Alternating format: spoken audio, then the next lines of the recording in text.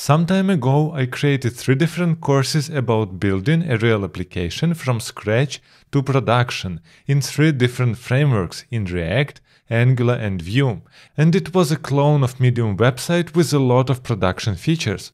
And in this video I want to share with you how long did it take to implement the project in every framework and what problems did I have.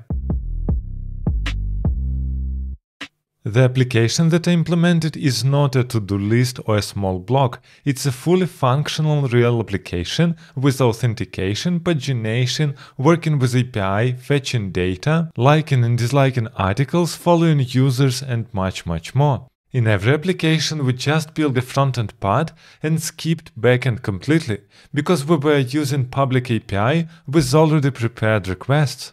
Also, I need to mention that I have quite a lot of experience in all these three frameworks, which means I didn't spend any time to Google some use cases or how to implement things.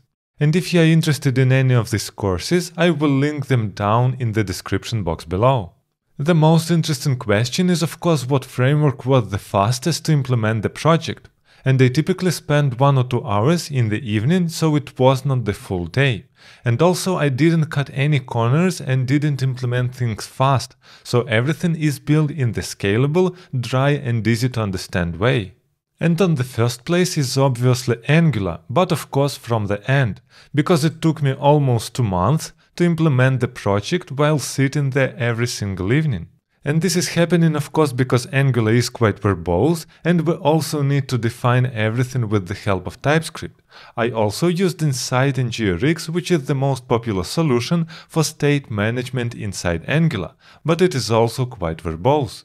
On the second place is React with React hooks, and actually the development time was really fast and I implemented it in nearly two weeks. But the main problems while developing were nasty bugs with React hooks, because as you know React hooks are not easy and you can get some stale values inside your effects and this is really tricky to fix. In React Hooks project the code was short and easy to reuse. We also didn't have a lot of files. And also I didn't need any additional libraries like for example Redux because I was using directly React context and use reducer hook to manage the state of the whole application. And actually the unexpected winner here is Vue. I implemented their project in less than a week, and mostly the code was really similar to React, but I didn't get any nasty bugs there and it was easier to write. Also we're getting Vuex together with Vue out of the box, so it was also nice experience. And actually what really makes code faster and easier to read are computed properties inside Vue. These are additional property inside Vue which are calculated reactively based on other properties. So when some properties are changed inside our component, all our computed properties will also be changed. And it makes your code extremely easy and reactive. Also, I can say that Vue has really human readable errors. This is why even when I have a bug there, it was really easier to fix in comparison to React or especially Angular. The next important thing to compare is the amount of bugs. Obviously, while developing and later from the students, I got some bugs in applications. And actually in Angular, almost all bugs which were difficult to fix were inside Angular router because actually subscriptions inside Angular Router didn't work how I expected them to work when the component was remounted. Other than that, TypeScript made it really easy to find bugs and typos. In React, almost all bugs are coming from React hooks, and you have normally two problems. Either you are getting some stale values inside your state, or your component is being re-rendered too often, and then you need to sit there and understand why it is rendered too often and how you can prevent it. And the bugs in Vue were the easiest to fix, and human-readable messages helped a lot for debugging. And here is one important point. I still think that we can't build a big production applications without TypeScript. And actually we can use TypeScript with any of these frameworks.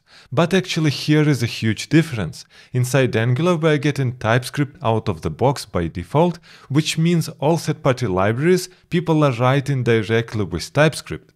But actually it's not like this inside React or Vue because it's not the part of the ecosystem. Sure, you can use TypeScript with any of these frameworks, but first of all with Vue 2 it was a little bit tricky, with Vue 3 it is better, but all third-party libraries can still be written with either JavaScript or TypeScript.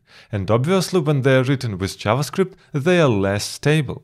This is why for big production applications I like React or Angular, because first of all in Angular you are getting all libraries covered with TypeScript, and in React at least all popular libraries are built already with TypeScript.